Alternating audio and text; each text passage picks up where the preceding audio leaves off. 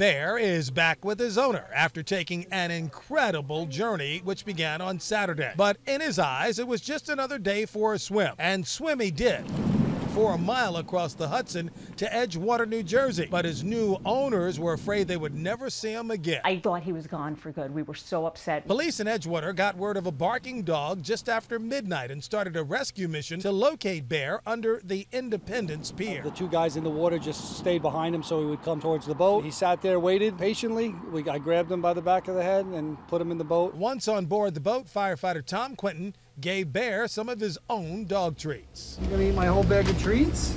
And Bear enjoyed the ride back to solid ground. Now, Bear is a breed called a Leonberger mixed with Bernese Mountain Dog. Leonbergers are natural swimmers, and Bear's background from outside of Bozeman, Montana, means he's accustomed to being outdoors.